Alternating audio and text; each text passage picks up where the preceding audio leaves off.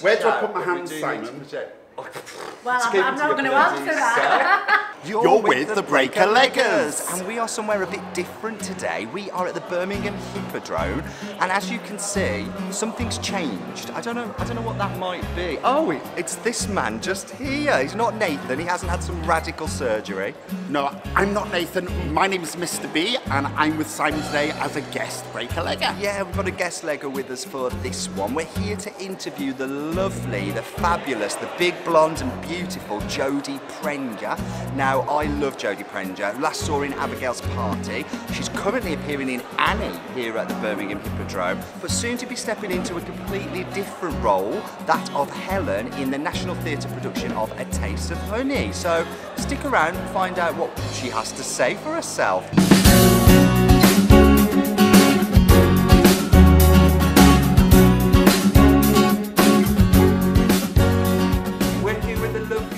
stranger, and I mean, I've got to say, it's a real treat for me to meet you. Oh, I've been a fan for such a long time. I've remember seeing you in Spam a lot, obviously on the Nancy show. Oh, gosh. Um, but you are brilliant. And what's really refreshing to see is that you've stepped away quite a bit from musical theatre recently and shown this amazing other side of you, which continues to surprise and delight audiences everywhere. Mainly me. Oh, there on the front row, just fawning over Thank you lightly. But you'll soon be heading out in a brand new tour of the National Theatre production of A Taste of Honey. Yeah. So I think quite different to what you've done before. You've I think it was. I think it was. I think it was like laughing. she was. She was. She was wailing, wasn't she? She was. So what drew you to the part? I just, I, I just love, I love this production. I love this play.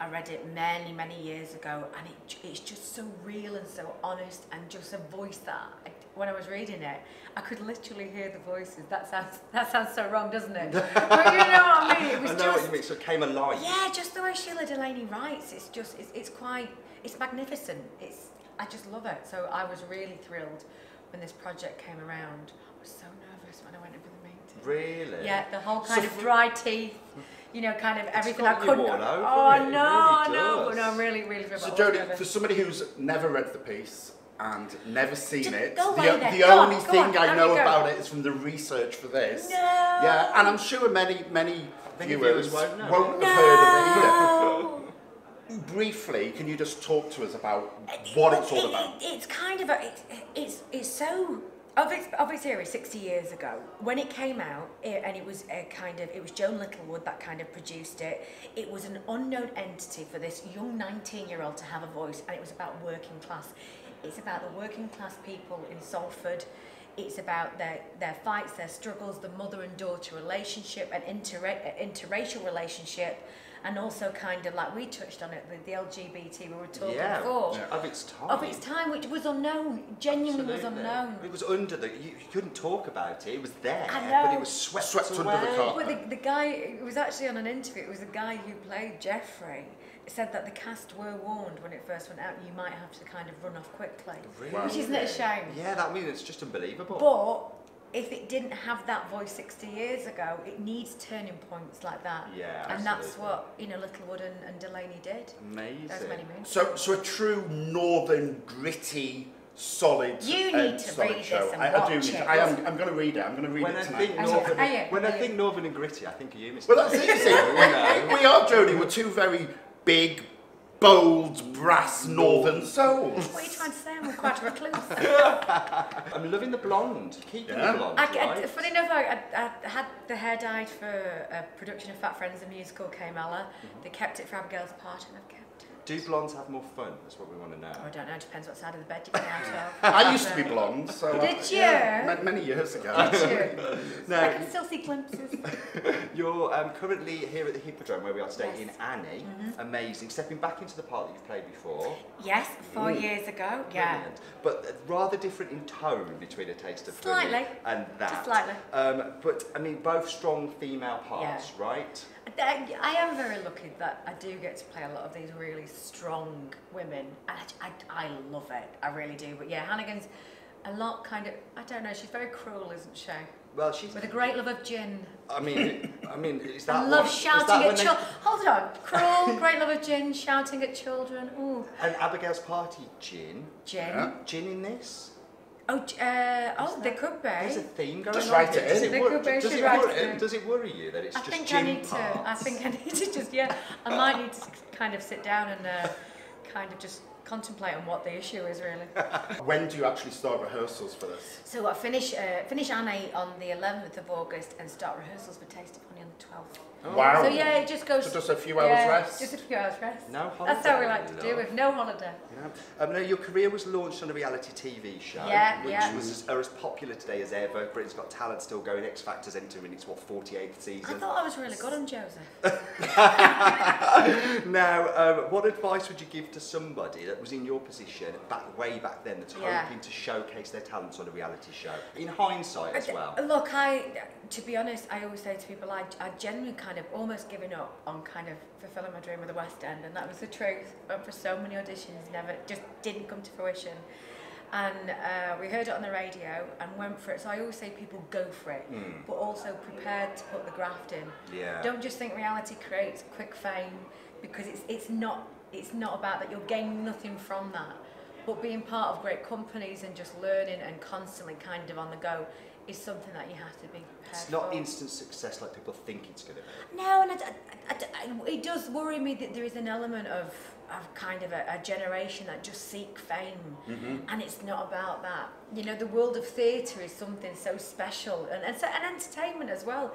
It's something. It's an honour to be part of, and it's just don't seek the fame. Just seek. Do you feel that people from a reality background get treated differently in the industry? Th- There is a, there is an there is an element of that, but I think if you're willing to show you want to work and go You for prove it, it.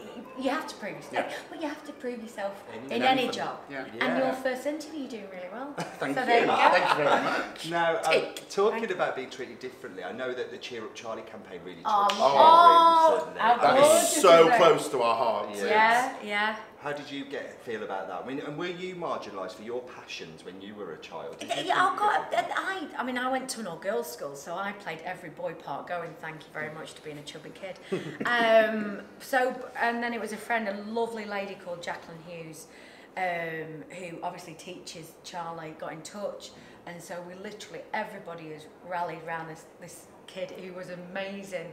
He is And there- fantastic, There isn't is an element. It's, look, you are different. You are born to do what you want to do, and, and if you want to belt out a show tune, belt out a show tune. If someone laughs at you for that, you just got. You have to be strong and know that there is a family that will support you. And that is the theatre community. They are a family. The fact that everyone rallied together overnight was like right into yeah. action, everybody. Yeah, I can't definitely. imagine another industry that would manage to pull that out like they pulled. I hope they would. I, th I think bullying in any form yes. should never be allowed, no matter what kind of corner of job you do. It, sh- it, it's just not acceptable at all. No. And it What was a boost to that kid. But honestly, he was Oh. he was the and his mum was there as well. He was the loveliest, loveliest boy.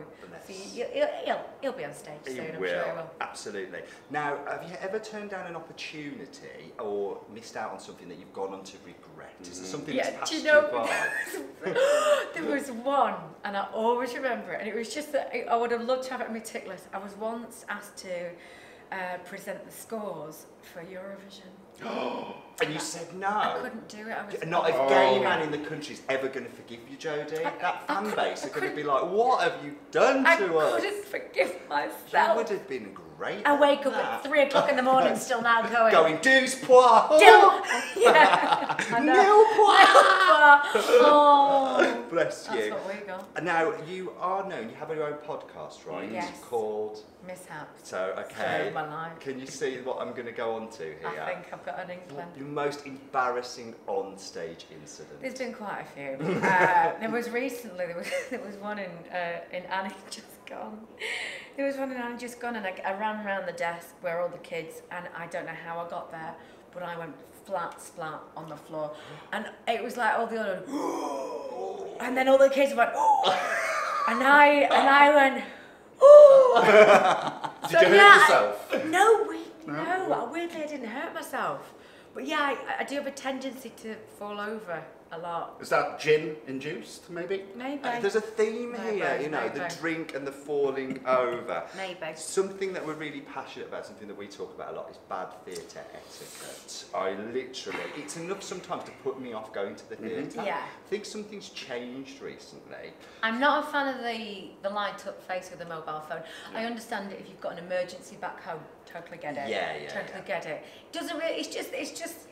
but the thing is, though, guys, we can see the whole face of Is it a disconcerting having this sort of uplit, sinister face in the audience just Hello. suddenly What's it? appearing? It? uh, Do you know what was lovely? And it was actually at the Alex in Birmingham, and I was doing Shirley Valentine. And I looked out, and they were they were sat on the front row.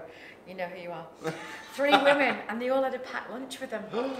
And but it was lovely to see they had a lovely sandwich, and then they had Oh. something else. I think they were, I think I can't. Scotch egg. Probably a Scotch egg, hopefully vegetarian. Mm. And then uh, I, thought, I thought, well, they must have finished by now. And I came on for Act Two, and they had a lovely dessert, but it was lovely. Oh, I felt like I was at a dinner party. Something like chomping away and you can hear them. it's, I understand. Look, it's you know people eat in the theatre, people drink in the theatre. It's just a good job they're there, I suppose, Yeah. because you've got to keep the theatre alive. they might be hungry. So in Annie, um, the role of Miss Hannigan has been played by women and by men. Mm-hmm. So if there was any role that you could do a gender swap, what role would that be and why? Oh, I could do a few in La Cage. I could say that, yeah. Hmm. I mean, Actually, I that's quite feel- a gender swap thing anyway. So I think know, you'd yeah, I'd get away with it. Yeah. Maybe a little kind of dabble in Priscilla. Who knows? I mean, the Oh. world's the world's my oyster. You'd be You abs- could, you would make an amazing drag queen. I know. could see it. I know. Thank you. I'm sure. Thank you. I don't know how I feel about that as a compliment. Oh, no, I'll make take it- it as a Oh, it was, it compliment. was a Oh, compliment. It was a compliment. Yeah, it was a compliment. Well, A Taste of Honey is heading out on a UK tour. We're going to catch it at the Wolverhampton Grand between the 5th and 9th of November. Mm -hmm. So mm-hmm. can't wait to see you there. Real jewel in the crown, Wolverhampton Grand. I mean, it's where I fell in love with theatre, being is Wolverhampton Is it? What was the first like, first show? First show? I ever saw was a panto there. It was Mother Goose. Thank you. And it was who was the lead in it? Oh my god, he's dead now. I can't remember. No, but it was it was Sorry. It was sorry. It was Sorry, of the theatrical legend. You're no longer that showbiz. That showbiz. showbiz. but he was absolutely brilliant, and I went. I made my grandmother take me to see that same production of that show seven times before it ended. Oh, I bet you were popular. I couldn't get enough of it, and when they threw the sweets, can you throw sweets? No, you the can't do it anymore. Isn't that gutting? Because that memory for me as a I just throw the child- buckets instead. Yeah, No, I saw it once where they pass around, they get a lollipop, and they say, "Everyone have a lick." Oh, and Oh, they no, around. did they? Oh, Did they? Yeah, they did. But I think a lot of the kids knew better. But I think it was a bit of kick in the teeth, like health and safety gone mad. I can't throw it at you, but spread your germs, loves. Isn't that awful? So thank you so much, Not at Jodie. all, it's thank an you. absolute, honest to God, it's a pleasure to Thank meet you. Can't wait to see you in more acting roles because when you stepped away from musicals and we saw this whole other side of you, Yeah. you blow us away every time. Oh, get out. Thank you No, very much, though. do. Thank you. Thanks, everybody. Thank you.